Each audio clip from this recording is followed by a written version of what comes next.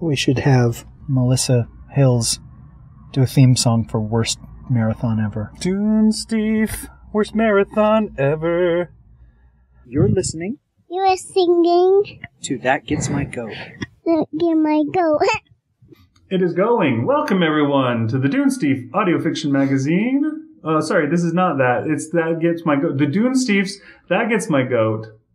We don't usually say that though, do we? We just say that gets my goat, huh? And then we say, Well, this is our third ever episode, so we're just yeah, still kind we're of still trying it to figure it out. This is uh, the worst marathon ever. And I wanted to make sure that it really felt like the worst, so I, I thought I'd do that off the top. And I'm sure people are, are thinking that too. Yeah, every time they hear us, they're like, "Wow, this is the worst marathon ever, ever, ever." Part of my motivation for this marathon was the last one we did was in October. And we Uh-huh. did the 13 nights of Halloween, which I had a lot of fun doing. And that was the first marathon we had done where we actually read our stories too. Oh yeah, and uh, I thought that uh, I thought it was it worked well, and and it was more work than the February one, but it was still it felt worth it because we had stories and because uh, the reaction was really positive. There were a couple of people that said it made their day, and one guy, the guy in New York, that rode around on his bicycle because oh right, yeah. Tom Tancredi, who, or I wonder how you say his name. Probably not Credi, probably Creedy. Tom, I don't know. Anyways, Tom Tancredi. Tan Tancredi. There you go. Um, yeah, that's that's one of those things where you don't know somebody actually in person. You just have seen emails from them and stuff like that. But yeah, that was when. Uh, what was the hurricane called? Do you remember? Hurricane Sandy. okay. Sandy sounds right. It was Hurricane Sandy hit New York, and the place was foobar for like No, no, that one was Hurricane Rosie O'Donnell. Oh, The one you're thinking of was right. sorry. But yeah, it left New York paralyzed right at Halloween, and so everybody was just like, Halloween, schmalloween. I need water and power and food. And so, yeah, you know, uh, the things went by the wayside, and Tom was telling us how it helped remind him that things were going to go back to normal or whatever. You know, it was it was a temporary thing, and he was he was out riding his bike around listening to episodes and seeing people standing in line at the library. You know, Because they- that was the only place yeah. had Wi-Fi. they huddled around the library so they could connect to the internet and they were standing in line places to get water jugs filled with clean water and it was just uh, interesting stuff but yeah it helped keep them grounded and not let them freak out or whatever which is awesome you know you know super cool when something that you do helps like that you know what i mean and we we do this because we love it and we don't expect it to, to do something like that when we find out that it has, boy, that's that's cool. Well, anyway, he sent us this really nice email about it, and he said, you know, what what would I have to pay you guys to do another marathon like that? And and so I fully expected, oh, well, maybe in February we'll do all the whole month again, and and that, this year has been difficult Yeah, it With- has. with doing the podcast and, and stuff. I mean, we have done a lot of that gets my goats, but the regular show has suffered, and uh, and it just wasn't possible to do a marathon then. But I wanted to. I wanted to do something, and I thought it was fun, just sitting down and and recording a bunch of things and then putting them out and seeing the people respond. I mean, especially him, but other people dug it too, you know. And they, uh, I, I've, I've said this a million times, but you start to foster a relationship with the people that you hear every day, whether you actually know them or not. But you hear them talk about their lives or their families or their likes and their dislikes, and you start to associate them as friends or coworkers or something like that. It's just from repetition, it's from familiarity. And with a show like ours, where we just talk and talk and talk and talk, it certainly lends itself to that. I mean, this is basically one of those talk radio type shows where we have a daily topic or whatever, you know, and we're going to open the open it up to calls. Open the phone lines. Maybe we can do that someday. We'll have a live episode where we open it up to the phone lines. I wonder if we could figure that out. It can't be that hard.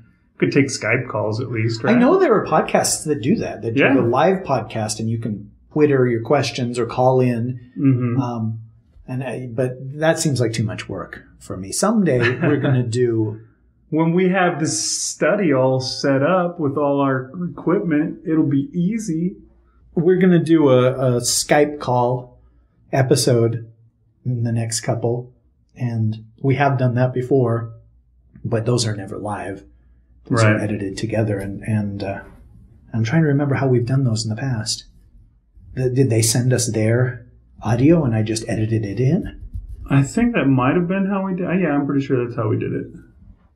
But uh, yeah, Clay Duggar did a, he did an, an episode for us, and I thought it would be really cool to have him in on the conversation because Yeah. he produced it. Um, We meant to do that. it. Yeah, we meant to do that with Renee when she uh, produced her last episode, and then things just didn't work out for it. So Brian's the only one that was uh, a guest host so far. Well, Appy has been in here, but it's not the same. True, yeah, that's not the same as a Skype. And we've someday we'll we'll get our NMX episode out that Yeah. we did with everybody. We had Marshall and and Scribe and and Abby and and Renee and Brian all in on that one. That was cool. It was. It was really neat. And, you know, people are already talking about next year's New Media Expo and making plans, and it sounds like you know it's going to be fun. And, and there's going to be they're they're talking about giving us a whole room just for podcasting. And I thought, wow, what is that's really neat. And uh, my ambitious wheels start turning again and saying, oh, and we can do this, and I'm going to write this, and this will be ready by then. And there's never enough time or hours in the day. Wait, time and hours in the day are the same thing. There's never enough energy either to get all those things done. But But you can do some of it. Last week I challenged you that we have to write a story.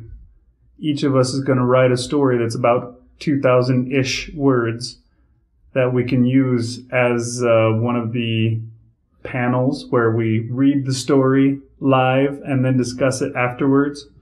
I have no memory of You have no memory. All You right, well, challenged me and I accepted. let me re-challenge you then. You and I are both going to write one of those, and we're going to read them through, and we'll decide uh, which ones we'll go with. Maybe we'll go with both, or you know, I'm sure other people will have stories as well that we'll have to uh, perhaps fight for uh, time with. I know last time Marshall had a story that he wanted to go through if we had a chance, and we never got the chance. So maybe he'll. That's say- too bad. He needs to be first then. Yeah, maybe he'll say, "No, listen, folks. Here's the deal." Sit down. Record this. We'll see. We'll see how it goes. But I think this time around we'll be much more organized too, which will be cool. And we'll have a lot more to offer. We also have these little devices. Yeah, we're we both got Last year we had to set up the huge mics that you know we always use for the Dunesteef. And which I'll still bring again, and we'll see if we can get it all going on. all right. So, By then, though, everybody's going to have one of these That's things. probably true. But yeah, we'll see how many we can get in one room. How many mics set up? Get them all in one room. well, See that we sounds can- fun. How many people on mics at once? And then how much of a garbled, terrible podcast that turns out to be. See, that's something that we don't know. You edited the the what what was it called? The barbecue sketch, Uh huh. which we recorded like that with a bunch of people in that motel room, hotel room. What kind of experience was that? You said that you could sometimes hear laughter that you had to edit out, but what about reverb or bad sound from another mic? The um the audio itself came through great. I thought uh, there wasn't much of a problem with that. Yeah, there was a little bit of laughter you could hear, but I think in that particular case, everybody was trying to be quiet, and we were all we had lines, so we took our time. We'll see. We did a, a post show episode for a story that we read, and yeah, that one we had everybody just. You could just start talking, and we'll see how that comes out. That one's the one that I'm more worried about. How Well, I will try and work on that so that will show up sometime. Because yeah, it, it's one of those that it shouldn't take a tremendous amount of work, but maybe it will. I don't know at least. Yeah, it all depends. But it's already got the whole episode recorded, so we Yeah. should just do it. circumstances are I've found the things that uh, are the biggest problems. A lot more so than what you run into actually doing the editing. it's the things that keep you from doing the editing that are the biggest problems. But yeah, so ambition. You talked about being ambitious and doing this uh, marathon. Now, why did you decide to do a marathon now? Did it have Oh, anything to do with uh, the the last show of the night that that week that you were uh, in San Diego? I don't know that it did, but it, it, I tend to call you on the Saturday night after Comic Con to tell you how the day was. Ever since I started doing this thing where I get up super early in the morning so I can go to Hall H, as is tradition, the last panel of the night, and it's not even a panel, is it's just the Kevin Smith question and answer thing, and and uh, Kevin, he just he's lazy. He just shows up and he says, "Hey, everybody, I'm going to open it up to questions." This year was worse than than usual. I mean, You didn't even say, "Hey, everybody." Just said, "I'm opening it up to questions." it was like that. Uh, usually he'll have something prepared and he'll tell him, tell us what we he's working on and that, and then he says, "Okay, well, let's open it up to questions." And this time he didn't. He just said, "Hey, questions, go." Um, but I, the guy really loves to uh, interact with the with his fans, and he loves to tell stories. He loves to talk. I mean, the guy's got like six podcasts or or more, and so you know the guy loves to talk. And if you've ever read any of his stuff, it's just people Talk, talking talk, to each other. But I mean, I can totally relate to that because I really enjoy this. And when we did the panel at New Media Expo, apparently we over prepared that. We didn't need to prepare. We could have just talked. And so that stuff is fun. And he, uh, this year, ended up telling a couple of stories that I'd already heard him tell. I think he's told the same exact story he told at last year at that thing. But at one point, somebody stood up and said, I don't know if you remember this, but two years ago, you talked about ch- uh, changing your life and realizing that too many times you had listened to people say, say, why? Why do you want to do this? And that you had stopped hanging around with those people and, and you sought out people that said, why not? And you wanted to, you wanted to be a why not kind of person where if something jumped into your head, you're like, you know what? Why not? I'm going to do that. I'm going to, I'm, I'm going to get up and I'm going to do it instead of coming up for, with excuses to not do it. And the guy says, you know, that really inspired me. And, and I was sort of on, you know, I, I, I was on the fence as to what I was going to do with my life. And that got me up off the fence. And, you know, I moved out and I'm trying to pursue my dreams. And here is where I am in doing that. And I just wanted to thank you. And Kevin is like, right on, man. Thanks. But I was just like, oh my gosh. Cause two years ago, the why not speech lit a fire under me. I was just so excited and called you and I was just like, oh wow, Kevin just said this coolest stuff. He also talked about blowjobs. And, and I want to do both of them. And you're just like, oh great, not that again.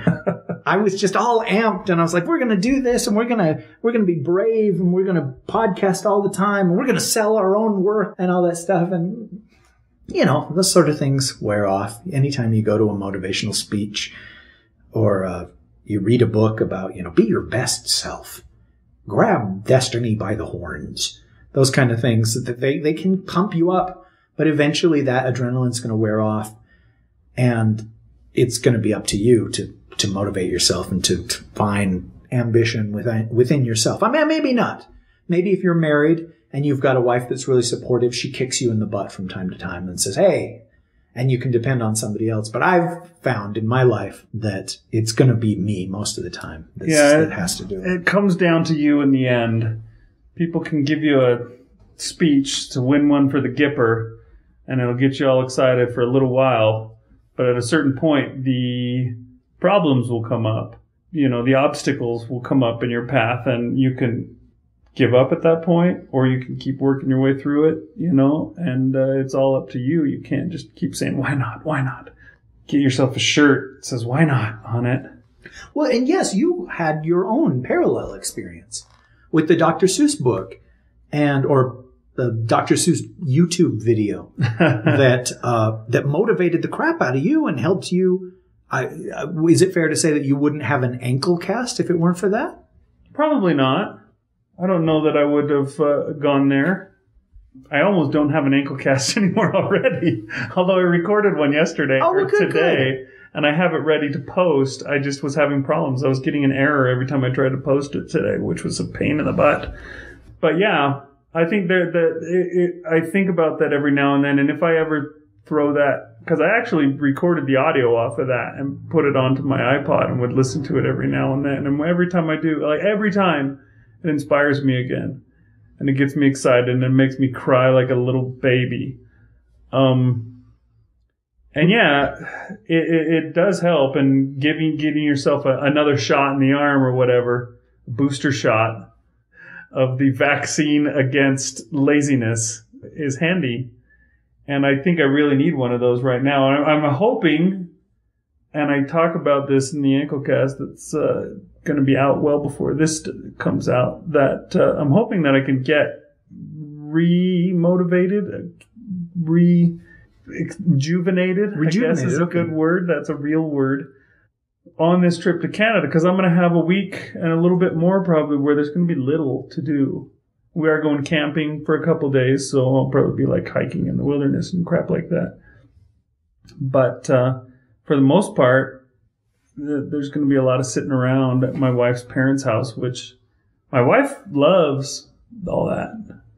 I'm not quite as keen on it because you know, it's not my family, so I don't have years and years and years and years of uh, familiarity and etc. So when they're just sitting around doing nothing, they can, you know, just talk and have a good time and stuff, and I get bored. And so I have printed out a whole bunch of uh, stories that I need to read. The 50 bazillion stories from the triple word score contest I have ready to read.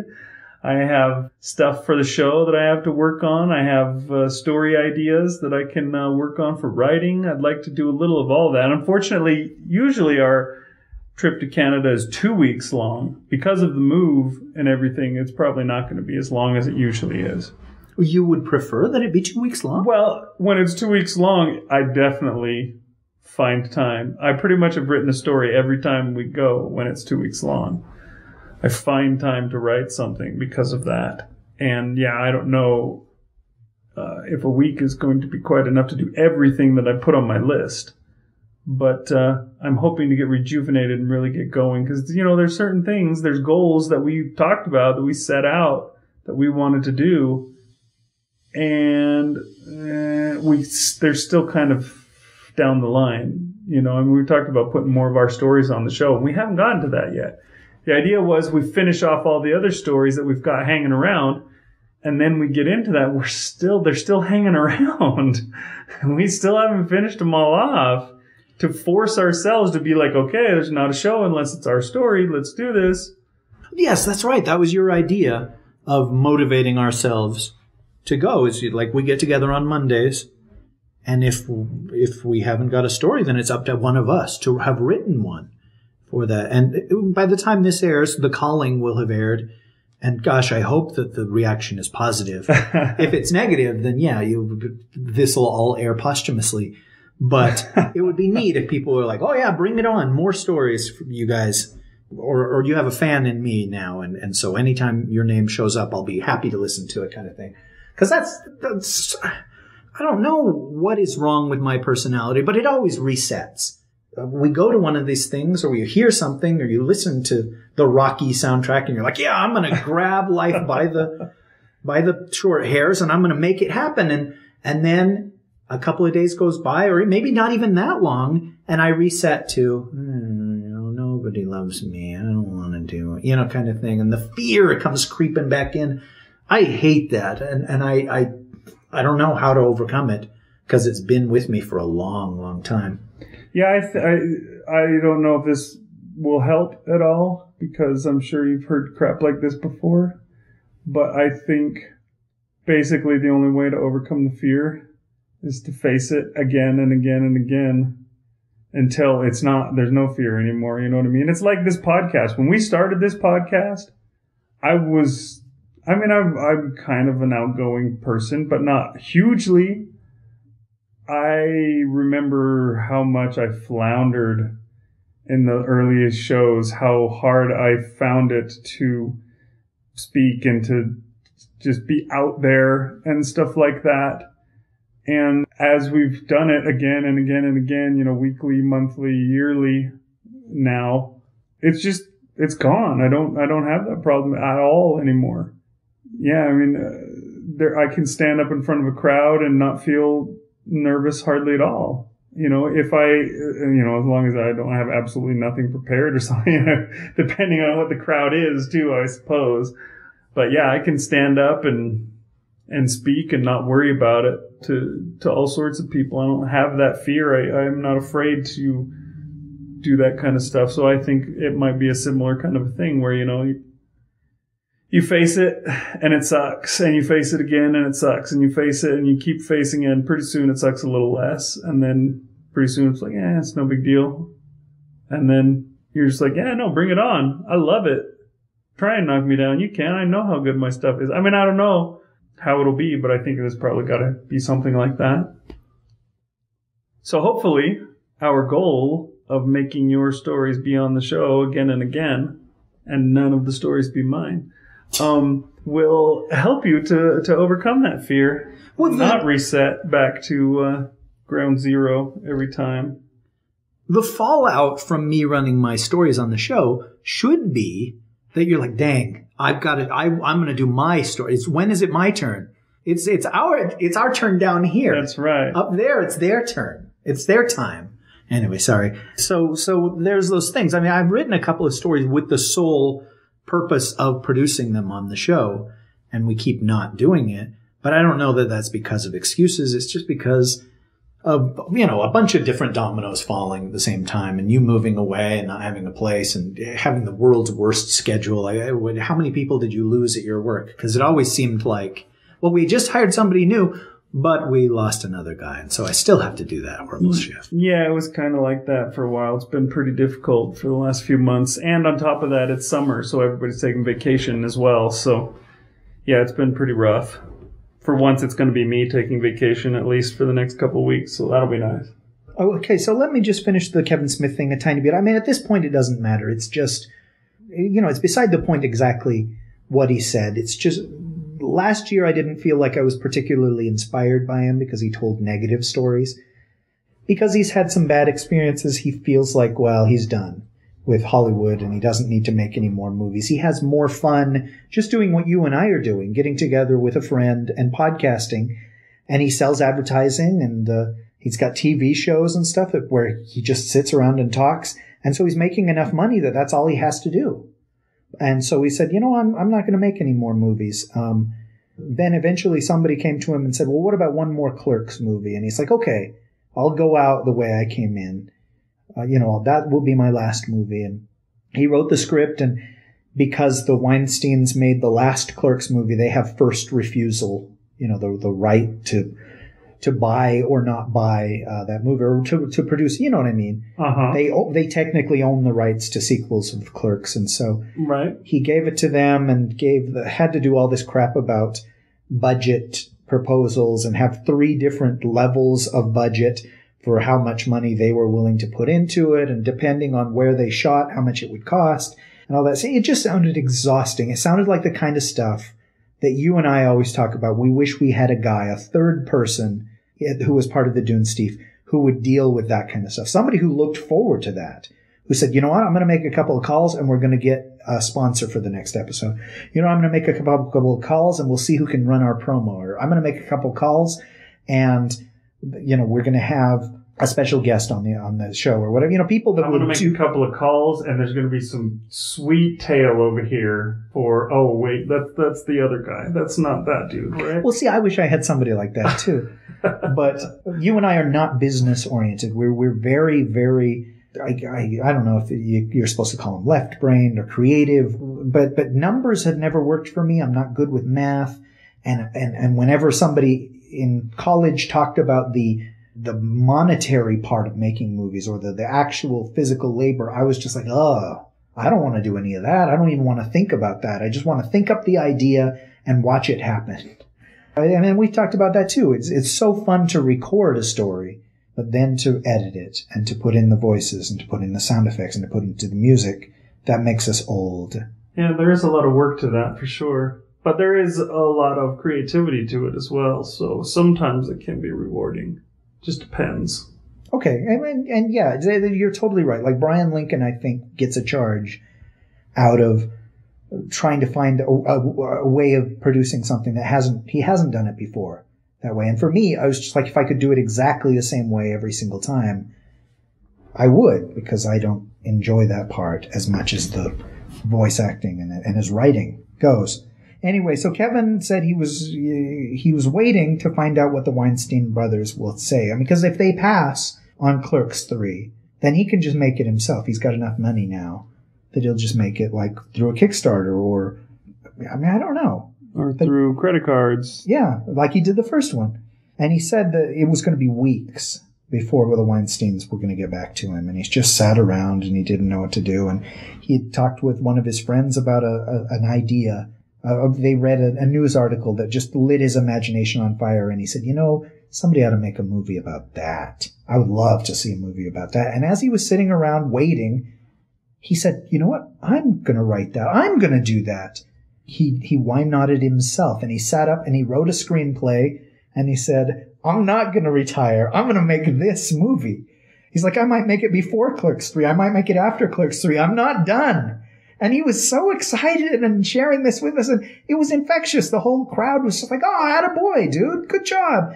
Because I guess he had just been burnt out so much on, on running into negative people and people, you know, he, he talked about one of his, his heroes just breaking his heart and, and showing him, you know, that Hollywood is not all glamorous and cool and all that stuff. And I think I felt like Kevin had just had his spirit broken and he's like, you know, it's not worth it anymore. I'm not going to do that anymore.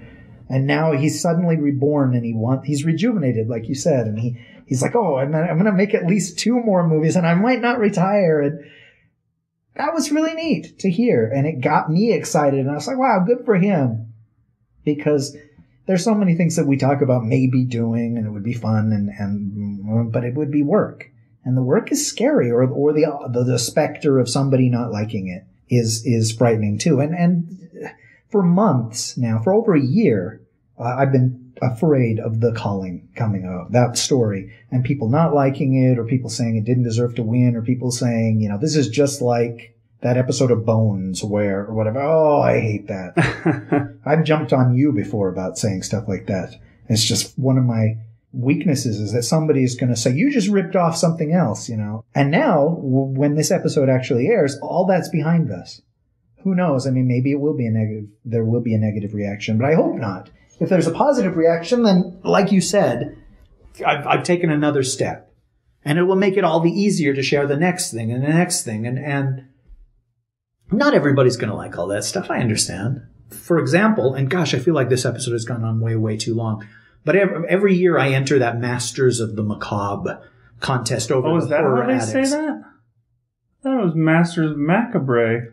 That's right. It I've is. heard it is it said macabre. Macabre before. You sure it's macabre? uh, it- Masters of Macabre, Oh, it's And- macabre. Oh. and they'll give you like a. a those a are those things that you toss at the Scottish games, right? There you Macabres. go. Yeah, that's The right. There was, one macabre of those, toss. there was one of those in the Bear and the Bow.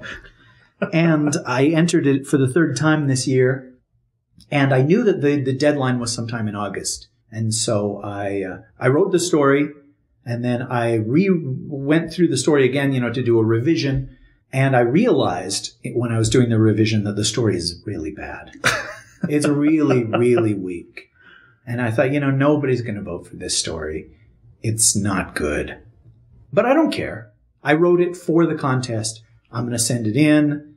You know, people are going to say it doesn't even belong on horror, the horror addicts website because it's not horror.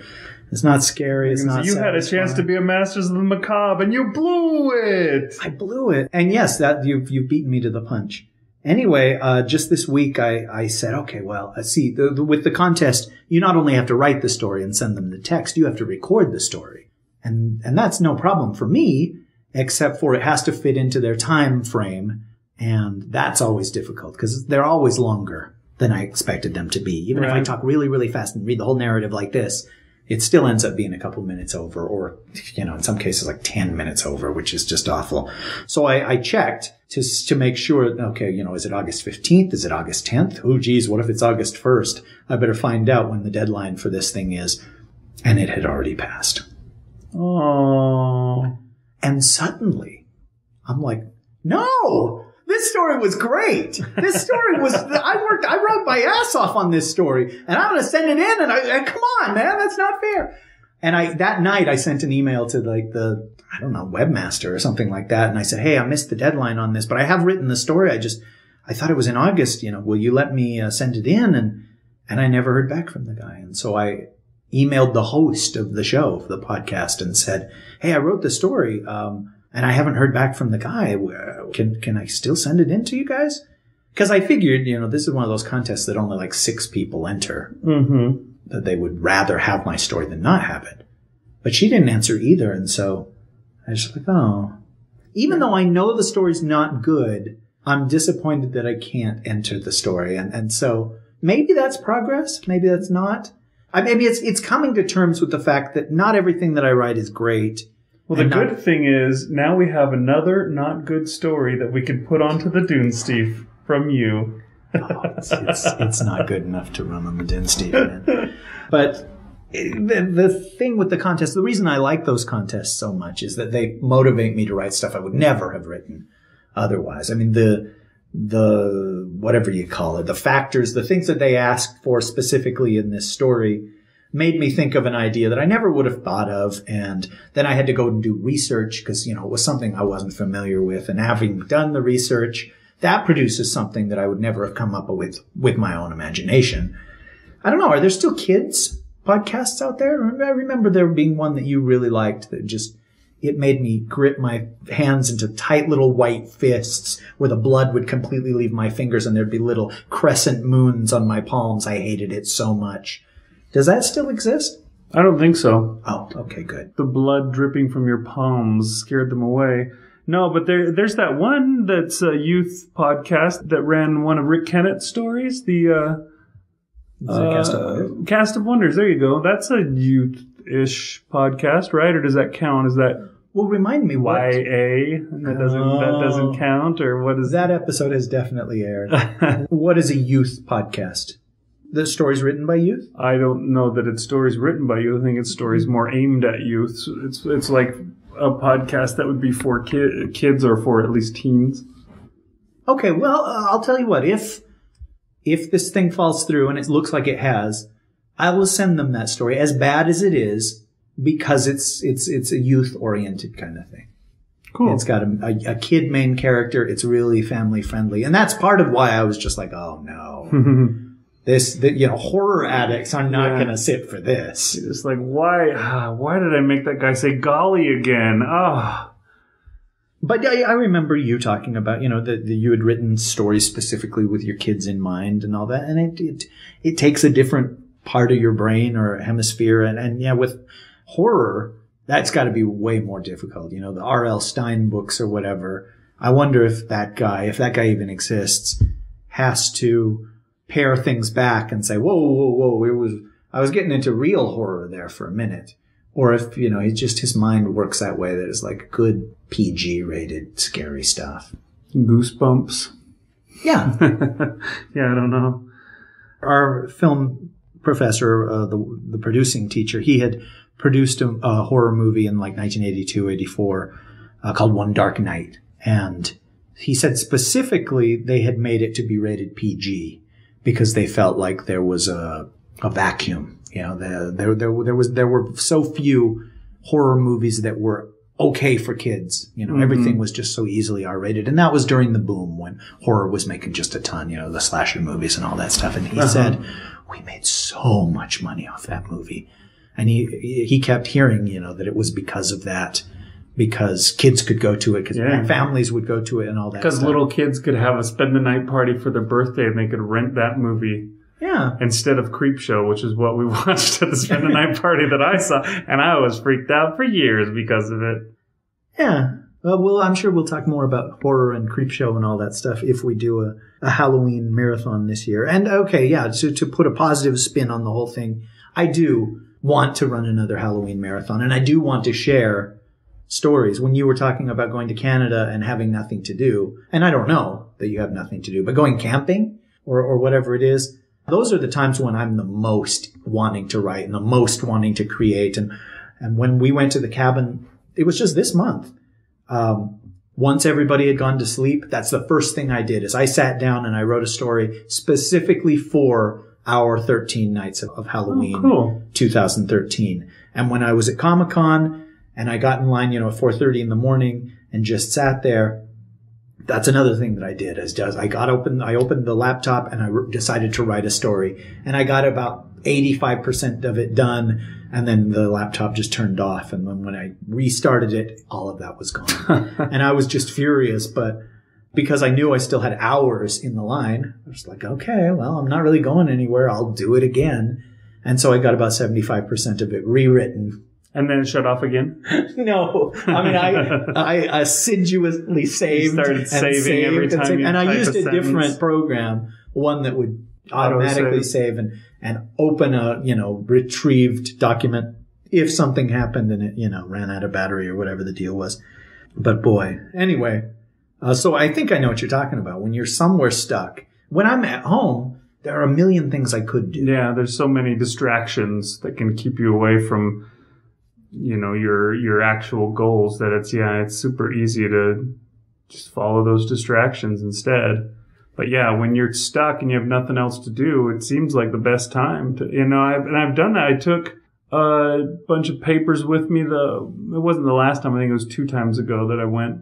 And yeah, I would go out each morning and sit out in their in their backyard listen to the birds chirp and write a story. And I wrote a whole story and two stories actually. One was really short. It was a, a Shortest ghost story. flash fiction. It wasn't shortest ghost story, but it was very similar. I believe it was called. Dang, I can't remember what it was called, but it was on Bosley Gravel's Cavalcade of Horror or whatever it was that he had that website. Wait, really? Yeah. I, I mean, I remember, but it's just like you got that one published. That's Yeah. neat, man. The other one, the longer one, didn't get published, but I never sent it out anywhere. I think I had some people read it and they gave me some suggestions on what I needed to do, and then I didn't do them. you and still can. Maybe you should take that with you too. Sits fallow, Well, yielding no fruit that I might feed my family with. I hear you, man. I I've done the same, and uh, and we want to not do the same. I, I yeah. Oh, one last thing. In that calling episode, you said you should start a Rish Outcast where you read your stories and then you talk about them. Do you remember that? Uh huh. I mean, it was months ago we recorded that, but hopefully it just aired and it's fresh on everybody's mind. And that I, that really excited me. That very night, I was like, okay, I'm going to do it. I'm going to record an introduction and tell people this is welcome to the Outcast, and this is the first episode. And from now on, I'm going to record stories. And yeah, I did like three stories that way.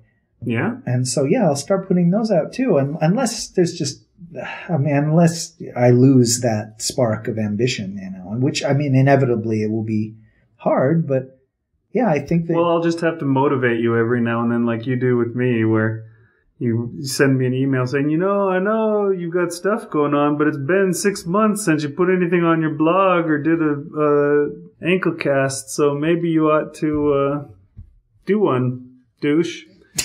and uh, and yeah, maybe I'll have to do that to keep you going, same way that you do it to keep me going.